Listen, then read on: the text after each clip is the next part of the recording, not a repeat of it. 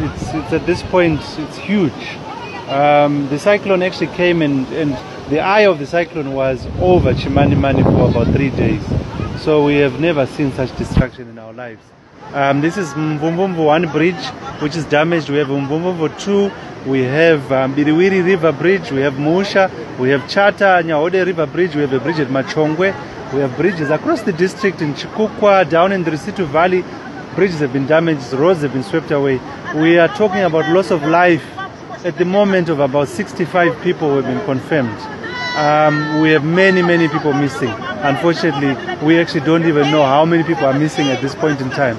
We are working currently with um, assistance from Chipinge Town Council and three brigades through Civil Protection Unit.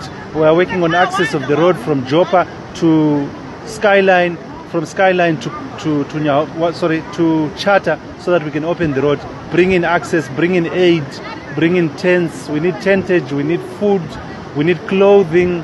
The, the, the circumstances are just huge. Um, the people who have lost their lives need to be buried properly. We need assistance. I know it has been claimed, um, sorry, it has been made into a national disaster, and so the state will come in to assist. But the situation is terrible.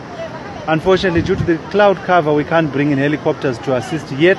We are just hoping and praying that it will clear so that we can bring in helicopters that are actually on standby in Chipinge and can come in at any time. So we're just waiting for the cloud cover to, to open up and allow us.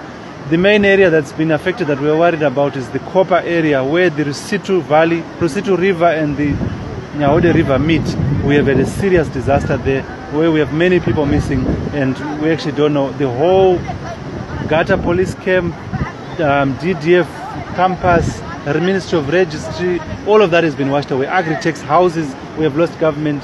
So complexes and we don't know where, where those workers are up to now. Unfortunately, we haven't uh, managed to, to find out.